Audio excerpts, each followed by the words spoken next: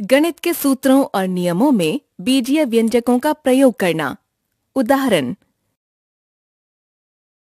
आज हम देखेंगे गणित के सूत्रों और नियमों, यानी formulas and rules of math में बीजीय व्यंजकों, यानी एल्जेब्रिक एक्सप्रेशंस के प्रयोग से संबंधित उदाहरण। अब तक हमने गणितीय सूत्रों और नियमों के बारे में जाना। इस वीडियो में हम उदाहरणों की मदद से इन्हें और अच्छे से समझेंगे। उदाहरण एक। यदि एक आयत का क्षेत्रफल 20 सेंटीमीटर वर्ग है और उसकी लंबाई 5 सेंटीमीटर है तो उसकी चौड़ाई कितनी होगी? आइए इसे मिलकर हल करते हैं। आयत के क्षेत्रफल का सूत्र होता है लंबाई गुना चौड़ाई। अगर बीजीय व्यंजक के माध्यम से लिखा जाए तो एक आयत का क्षेत्रफल होगा L गुणा बी जिसमें L लंबाई और B चौड़ाई को दर्शाता है। हमें दिया गया है कि इस आयत का क्षेत्रफल 20 सेंटीमीटर वर्ग है और इसकी लंबाई 5 सेंटीमीटर है। अब हम इन मानों को आयत के क्षेत्रफल के सूत्र में रखते हैं। जैसा कि हमने अभी देखा कि आयत का क्षेत्रफल होता है एल गुणा बी अर्थात 20 बराबर 5 गुणा बी होगा। अब हमें मिलेगा 20 बराबर 5 बी अब हम दोनों पक्षों को 5 से भाग करेंगे।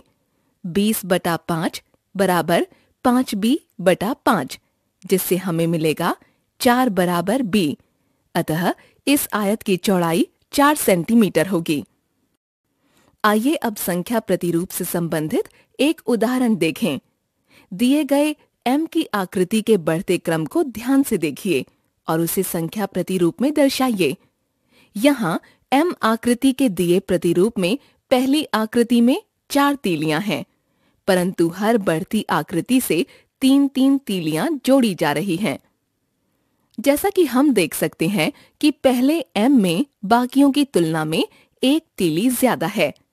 दिए गए m की आकृति के बढ़ते क्रम का संख्या प्रतिरूप बनाने के लिए हम माचिस की तीलियों की संख्या को एक पद माने तो हम देख सकते हैं कि पहली आकृति में चार, दूसरी में सात, तीसरी में दस और चौथी में तेरह तीलियों का प्रयोग हुआ है।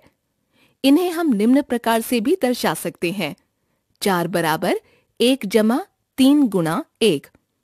सात बराबर एक जमा तीन गुना दो। दस बराबर एक जमा तीन गुना तीन।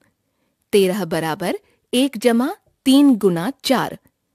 ऐसी ही n के स्थान के लिए व्यंजक होगा एक जमा तीन गुना एन बराबर एक जमा तीन एन यहाँ एन एम की कुल आकृतियों की संख्या को दर्शाता है। हम इस व्यंजक की सहायता से एम की एन आकृतियों को बनाने के लिए आवश्यक कुल तीलियों की संख्या का पता लगा सकते हैं। एम आकृति के इस प्रतिरूप का संख्या प्रतिरूप होगा।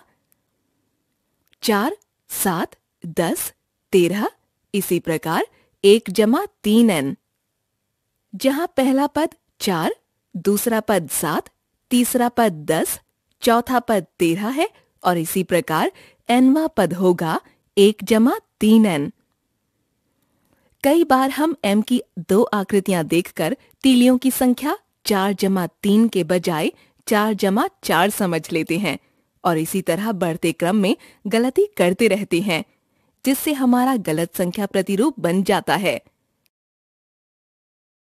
आज हमने देखे गणित के सूत्रों और नियमों में बीजीय व्यंजकों के प्रयोग से संबंधित उदाहरण। अगली वीडियो में हम इनसे संबंधित कुछ मिथ्या धारणाएँ देखेंगे। धन्यवाद।